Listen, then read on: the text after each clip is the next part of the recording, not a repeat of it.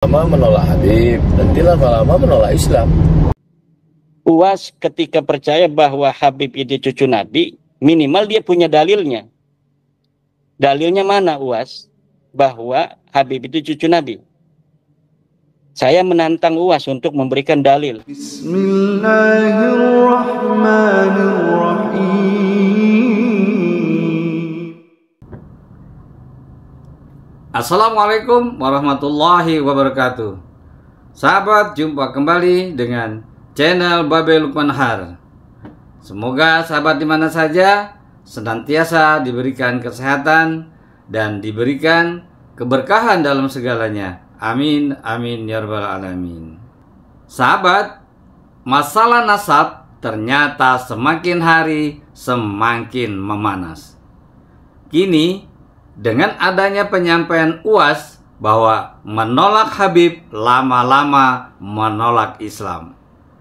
Pernyataan inilah yang menimbulkan Kiai Imaduddin menantang UAS tentang pernyataannya.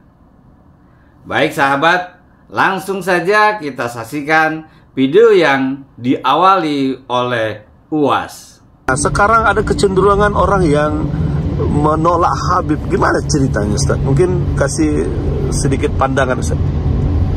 Pertama menolak Habib, nanti lama-lama menolak Islam. Ujung-ujungnya itu ya ke sana. Maka ibarat makan bubur panas. Iya. Bubur panas itu dia tidak langsung dari tengah karena panas, pinggir-pinggirnya dulu. Jadi, Iya, menolak. Kalau sudah orang kehilangan kecintaan kepada para habaib, hilang kecintaan pada ulama, hilang mahabbah, ya lama-lama ketika Islam dihinakan, cuek aja. Ah. Hati-hati ini sedang menggerogoti kita, maka kita tetap mencintai para habaib, zuriat Rasulullah Sallallahu Alaihi Wasallam, mencintai para kiai, para tuan-tuan guru, para ulama. Itulah yang kita tanamkan kepada anak-anak kita. Kenapa Bang Aman Ali cinta kepada ulama, cinta kepada para habaib? Karena orang tuanya menanamkan itu. Cerita beliau tentang membawa, menimbakan air ya Bang? Iya. Jadi dari kecil kita udah- halaman. menyapu halaman, air wudhu, dulu ditimba dari sumur. Jadi kalau ada orang heran sekarang, kenapa Bang Aman Ali sayang kepada para habaib, sayang kepada para ulama, pendidikan orang tua. Sekarang yang menanamkan kebencian kepada para habaib, para ulama yang sekarang ini, lihat nanti 20-30 tahun akan datang, gimana anaknya? Nauzubillah, bisa-bisa ateis. Tidak lagi ada mahabbah, tidak lagi ada cinta. Hubungan kita ini kan cinta, Iya. kasih sayang Iya. Sa- sayang kepada ulama, sayang kepada para habaib, sayang kepada agama. Kalau ini kita tidak tanamkan, nauzubillah, bisa ateis anak kita. Terakhir Ustaz, pesan kepada orang yang masih ragu kepada kecintaan terhadap habaib Ustaz. Ya, mengajar. Fa'lam la ilaha illallah itu coba baca ayatnya. Fa'lam annahu la ilaha illallah. Berilmu. Sekarang sarana prasarana ilmu pengetahuan, teknologi, pengajian. Cuman YouTube ini kan tidak bisa membedakan mana Islam, mana kafir, mana sesat, mana hidayah. Karena YouTube itu mesin, dia hanya menunjukkan apa pun informasi yang mau dicari dia paparkan semua. Mau apa? Mau surga, mau neraka ada semua. Maka kalau kita mau selamat kita ngaji, datang ke guru, datang ke kiai, datang ke pondok-pondok besar. Mana pondok besar pembenci habaib? Tunjukkan sama saya. Lirboyo, Kiai Kafabi, pencinta habaib. Pelosok, Gus Kausar, beserta para kiai, pencinta para habaib. Tebu Ireng, pencinta para habaib. Mana pondok-pondok besar yang membenci para habaib? Mereka adalah pencinta para habaib zuriat Rasulullah SAW. Sahabat, itulah video tentang pernyataan UAS yang menimbulkan UAS ditantang Kiai Imaduddin. Baik sahabat, mari kita saksikan videonya Kiai Imaduddin menantang UAS.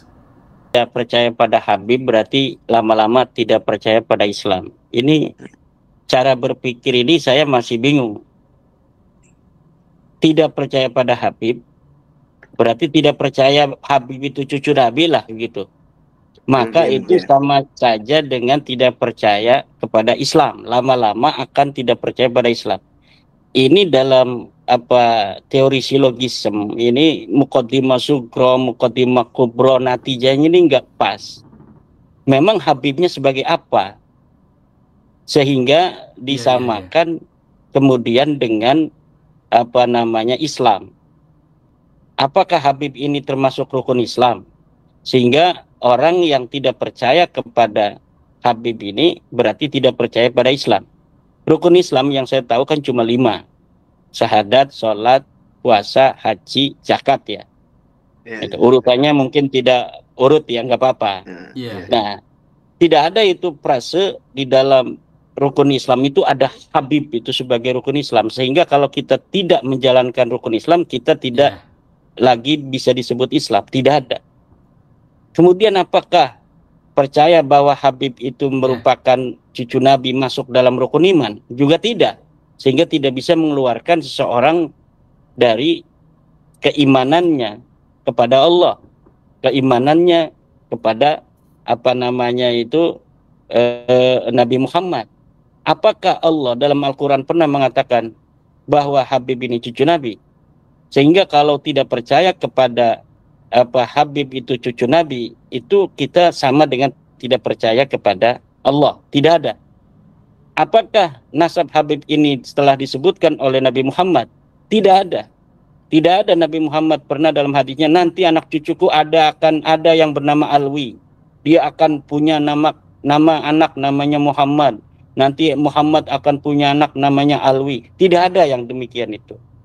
Kalau dia Iya. bukan ucapan Allah, dia bukan ucapan Nabi Muhammad, lalu kita tidak percaya bahwa Habib ini cucu Nabi, apa konsekuensi kita keluar atau tidak masuk dalam kategori iman itu dari mana? Tidak ada. Maka UAS ini dalam bicara bolehlah Iya. kita mendukung Habib ya, mendukung atau jadi mukibin. UAS jadi mukibin silahkan saja. Tapi jangan bodohi jamaahnya. Iya, Coba iya, iya. cerdaskan jamaahnya. UAS ketika percaya bahwa Habib itu cucu Nabi, minimal dia punya dalilnya. Dalilnya mana UAS? Bahwa Habib itu cucu Nabi. Saya menantang UAS untuk memberikan dalil. Hei Imaduddin Usman, ini dalil Habib cucu Nabi. Ini sahih. Selama ini tidak ada. Iya, iya. Saya tidak pernah lihat dia mengutip kitab tentang apa ilmu nasab. Dia hanya apa yang dia tahu selama ini. Nah ini menutup jamaahnya untuk cerdas. Jamaahnya UAS ini kan bukan jamaah NU.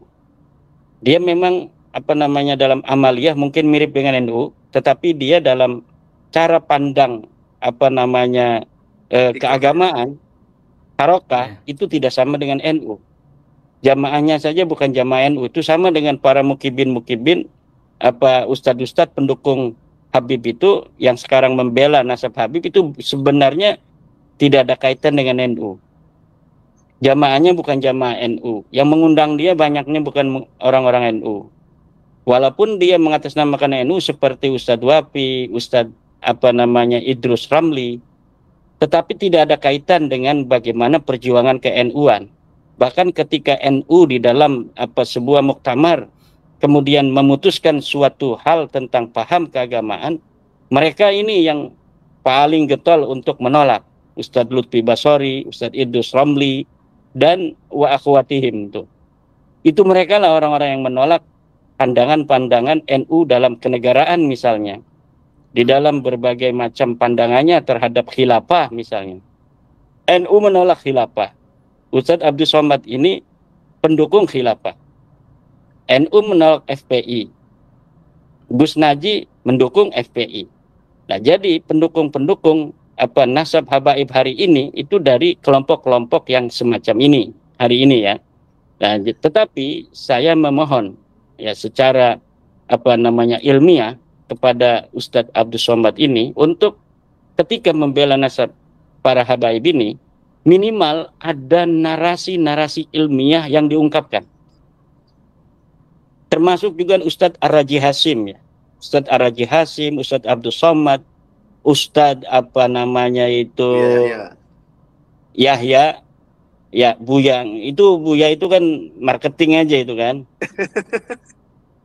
lah ini tolong ada dalilnya jangan jadikan masyarakat bodoh hanya untuk bertaklid Sementara Allah melarang kita untuk bertaklid. Wala taqfu ma laisa laka bihi ilmun. Jangan engkau ikuti sesuatu yang kamu tidak ada dalil di sana. Tidak ada ilmu di sana. Kenapa Ustaz Abdul Somad tidak mengikuti Al-Quran? Al-Quran melarang kita untuk mengikuti sesuatu tanpa dalil. Tapi Ustaz Abdul Somad kemudian jamaahnya diminta oleh dia agar mengikuti bahwa Habib itu adalah cucu Nabi tanpa ada dalil.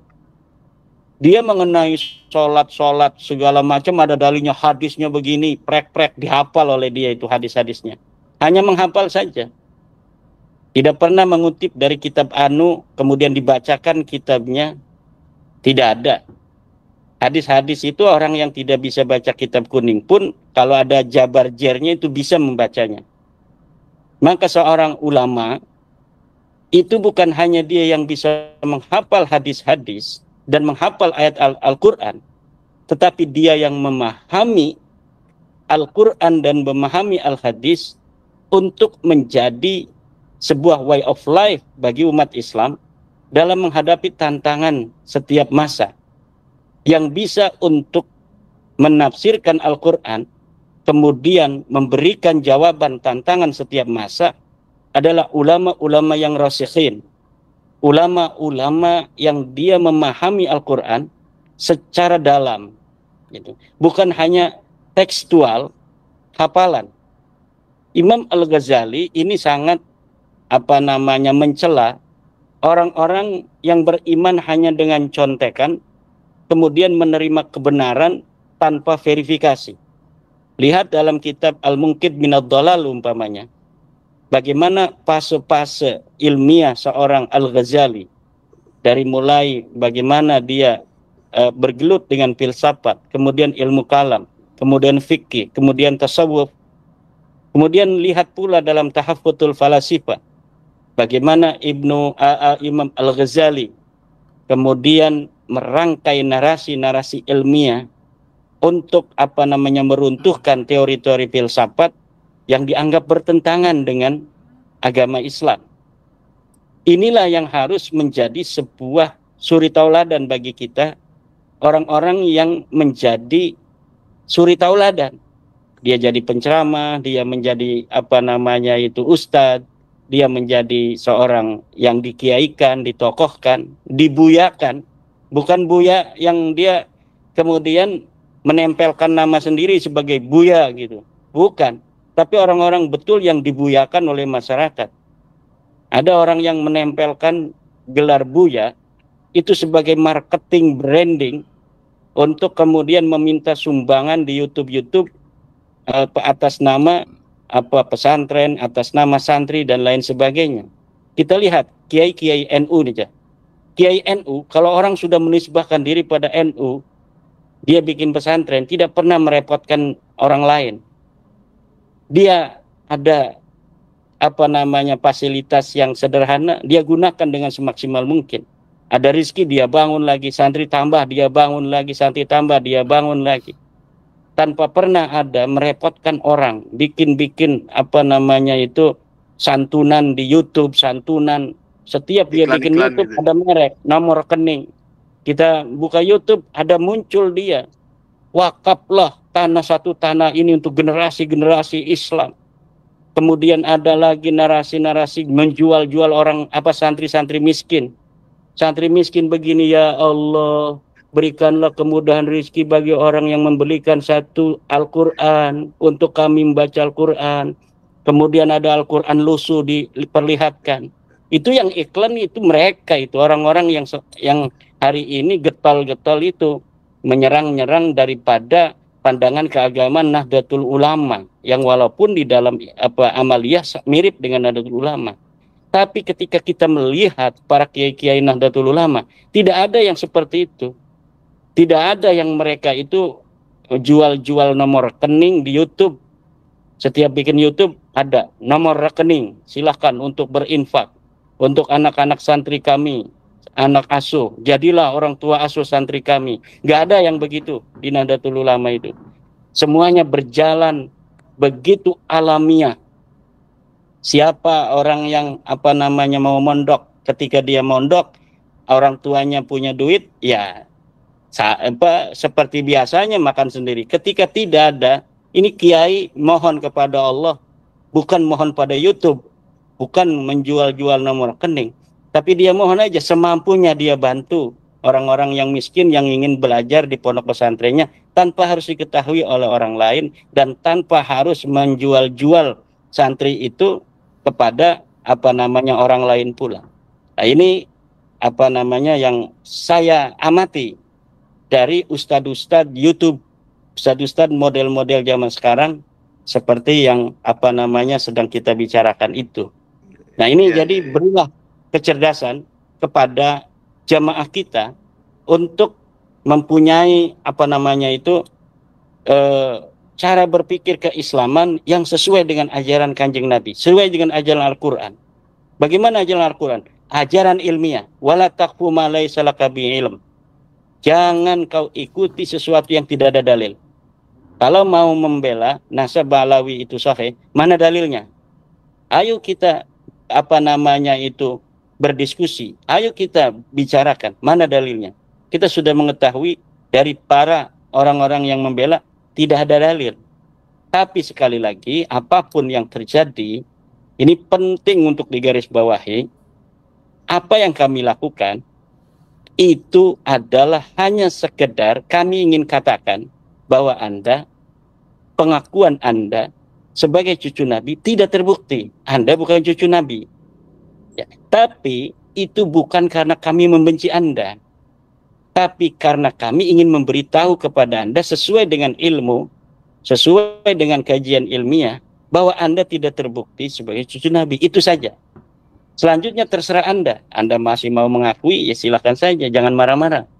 Yang jelas adalah apa yang dikatakan oleh UAS, bahwa tidak percaya kepada nasab habaib itu sama dengan tidak percaya pada Islam itu tidak ilmiah, tidak berdasarkan ilmu pengetahuan, dan membawa jamaahnya kepada taklid buta yang dilarang oleh agama Islam.